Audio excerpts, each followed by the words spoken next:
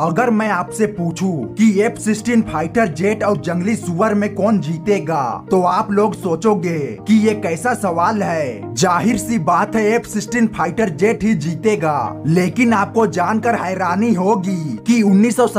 में जंगली सुअर ने पाकिस्तान का एफ सिक्सटीन फाइटर जेट को डिस्ट्रॉय कर दिया था दरअसल ये बात है उन्नीस की जब पाकिस्तानी एयरफोर्स को हाल ही में नया नया F sixteen fighter jet America से मिला था और ये लोग सीख ही रहे थे कि उसे उड़ाते कैसे हैं लेकिन परीक्षण के दौरान जब एफ सिक्सटीन फाइटर जेट उड़ान भरने के लिए रनवे पर चल रही थी तभी अचानक से जंगली सुअर रनवे पर आ पहुंचा और उसने पूरे फाइटर जेट को बर्बाद कर दिया दरअसल उस जंगली सुअर ने फाइटर जेट के पहिए पर जा टकराया जिसके कारण फाइटर जेट अनबैलेंस हो गया और कुछ ही सेकेंड में फाइटर जेट एक्सप्लोर कर गया बाकी आपको इसके बारे में क्या कहना है